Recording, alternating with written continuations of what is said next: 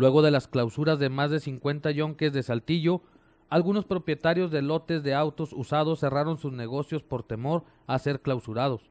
Por lo menos ocho negocios que se dedicaban a la compra y venta de vehículos usados cerraron sus puertas ante la posibilidad de que el gobierno municipal decida clausurarlos como ocurrió con los yonques.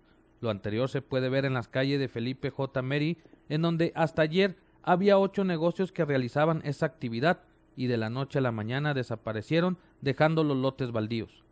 También al sur de la ciudad, donde hay varios de estos negocios hicieron lo mismo para evitar ser clausurados con todo y vehículos, motivo por el cual más de 50 trabajadores dejarán de recibir algún tipo de ingresos hasta nuevo viso o hasta conseguir otro empleo.